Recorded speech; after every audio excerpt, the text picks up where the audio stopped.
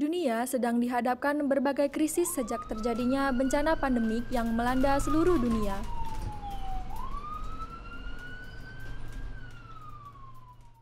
Kok beritanya begini semua sih? Apa sih kondisi krisis itu? Ayah, ayah, tadi aku mendengar di berita kalau sekarang kita semua dalam kondisi krisis. Sebenarnya kondisi krisis itu apa sih ya? Kamu tertarik dengan apa itu kondisi krisisnya ya?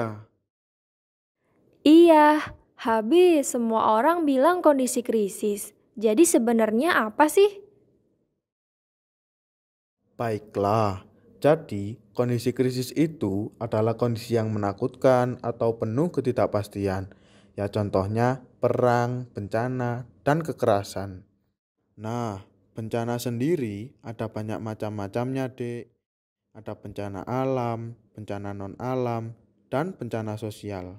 Bencana alam itu seperti gempa bumi, banjir, dan tanah longsor. Sedangkan bencana non-alam itu seperti wabah COVID-19 sekarang ini. Kalau bencana sosial, ada konflik antar wilayah. Kekerasan juga banyak macam-macamnya, Dek. Ada yang dipukul, ada yang diancam, dan masih banyak lagi. Oh, banyak banget ya ya ternyata kondisi krisis itu. Iya, Dek, betul, banyak banget. Dan bisa terjadi kapan saja. Terus, kalau ada kondisi krisis, emangnya kenapa ya? Kata TV, kita semua mengalami. Tapi buktinya kita sekarang di rumah baik-baik aja. Gini, kondisi krisis bisa memberikan banyak dampak bagi orang yang langsung berada pada situasi yang Bapak jelaskan tadi. Mereka akan mengalami kehilangan seperti tempat tinggal, orang-orang tersayang, terpisah dari keluarga, dan teman-teman atau menjadi saksi dari suatu kekerasan atau kematian. Sehingga banyak orang yang menjadi ketakutan dan merasa khawatir.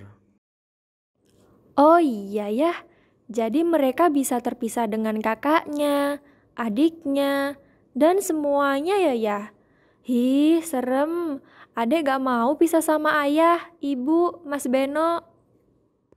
Terus mereka bagaimana ya kalau sampai merasa ketakutan? Oh, nanti mereka akan ditemani dan diberikan P3, Dek. P3 merupakan singkatan dari pertolongan psikologis pertama. Jadi, P3 ini merupakan tindakan awal yang dilakukan kepada seseorang yang menderita karena mengalami bencana ataupun krisis. Intinya, P3 ini memberikan dukungan ke mereka agar tidak mengalami penderitaan, Dek. Dukungannya dalam bentuk apa itu ya? Ya misalnya kalau mereka terluka, mereka diberikan perawatan, mencari tahu kebutuhan mereka apa, dipenuhi kebutuhan dasarnya seperti makan, minum, jadi pendengar yang baik, menghibur mereka supaya tenang, dan melindungi mereka dari bahaya. Jadi, P3 itu intinya bagaimana kita bisa membantu mereka agar merasa aman, merasa mendapat dukungan, dan merasa mampu mengatasi masalahnya. Oh, jadi harus kayak teman ya ya. Terus, yang bisa jadi teman untuk orang-orang yang krisis itu siapa ya? Adek bisa nggak ya jadi teman mereka? Pertanyaan yang bagus anak pintar.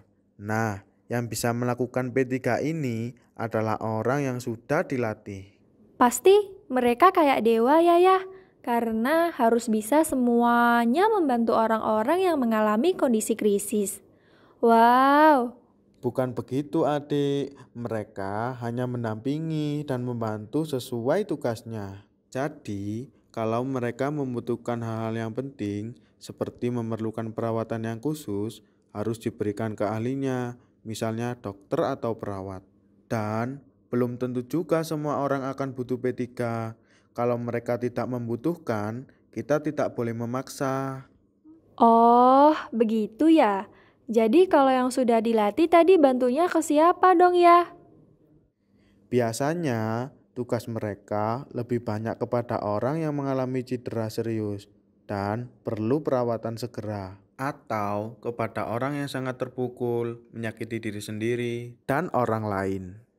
Oh, jadi dipilih-pilih ya siapa yang ditemani. Berarti petugas P3-nya harus menunggu yang kondisi seperti itu ya ya?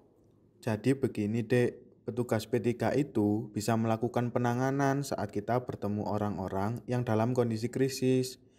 Sebaiknya dilakukan segera, tapi terkadang ada juga yang baru beberapa hari atau minggu berikutnya, tergantung pada keparahan kondisinya. Ayah, jadi mereka nanti akan dibawa ke rumah sakit begitu ya ya? Enggak juga adik, P3 bisa dilakukan di mana-mana, misalnya di tenda pengungsian atau gelar tikar di lapangan terbuka, tergantung situasi dan kondisi krisisnya seperti apa. Wah, ibu perhatikan ayah dan adik serius banget nih diskusinya. Ayo, kalau sudah kita makan dulu sebelum perut adik yang jadi krisis. Hahaha, ibu bisa aja. Berarti adek juga bisa jadi petugas P3, Ibu. Aku ada untukmu, makanan kesukaanku. Hahaha.